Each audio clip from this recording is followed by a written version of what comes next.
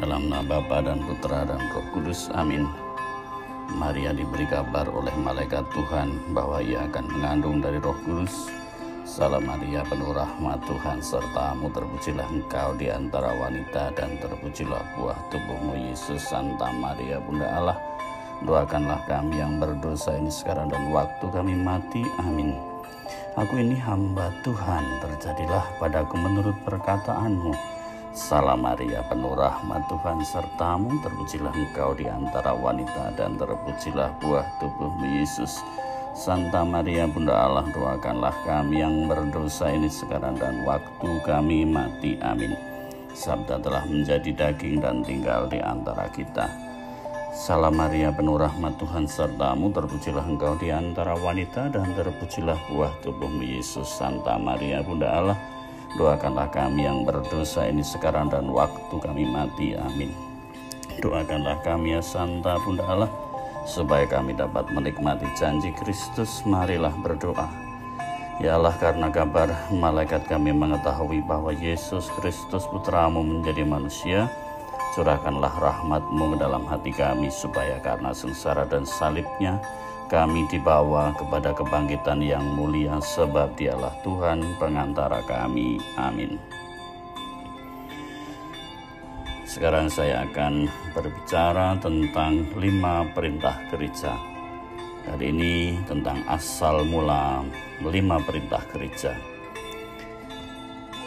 Pagi hari anjing pastoran itu terus menggonggong sementara masih situasi PSBB Pastor Samiti sedang memimpin misa streaming. Karena merasa terganggu, ia memberi kode kepada koster untuk menghentikan gonggongan anjing-anjing itu. Dan ternyata setelah koster keluar gereja, tidak ada lagi suara anjing. Namun koster senyum-senyum sambil kembali ke dalam gereja. Usai misa online, Pastor Samiti bertanya, kenapa? Kamu senyum-senyum tadi. Oh, seperti dalam kitab suci mau. Anjing akan makan roti dari remah-remah yang dijatuhkan tuannya. Oh, yang datang tuan dari anjing, tanya Pastor Samiti. Dan sang tuan juga ikut misa online berharap dapat remah-remah dari sang maha tuan, jawab Koster. Itu bukan online namanya. Online itu dari rumah masing-masing lah dia datang di balik tembok gereja.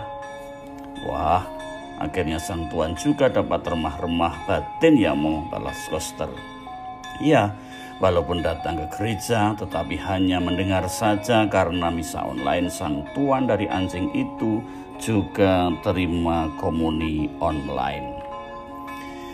Lima perintah gereja menjadi hukum yang paling mengikat, yang mengikat kewajiban kita beribadah bertindak dengan moral dan kasih. Hukum diberikan oleh gereja dan dapat didispensasi dari kewajiban tersebut juga oleh gereja. Misal, orang berkewajiban melaksanakan puasa dan pantang pada masa prapaskah tetapi karena usia di atas 60 tahun sudah tidak punya kewajiban untuk puasa. Namun demikian, kemanfaatan rohani demi keselamatan dan kesalehan hidup perlu dipatuhi atau merayakan misa pada hari Minggu dan hari raya. Namun karena pertimbangan kesehatan dan demi nilai bonum komune, misa online dimungkinkan sampai dengan ketentuan gereja yang baru. Lima perintah gereja ini bukan hasil ajaran Yesus langsung atau warisan gereja perdana.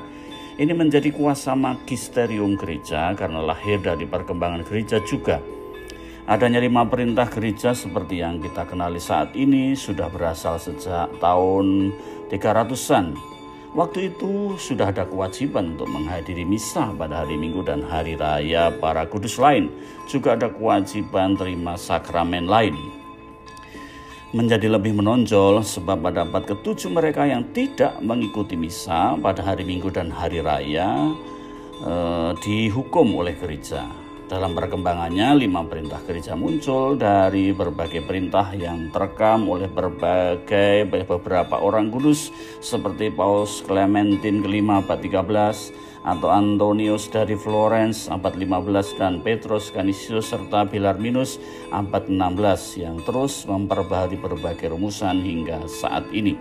Karenanya sal mula lima perintah gereja merupakan proses komunitas dan dukungan magisterium magisterium sehingga kita mengenali sampai saat ini. Amin.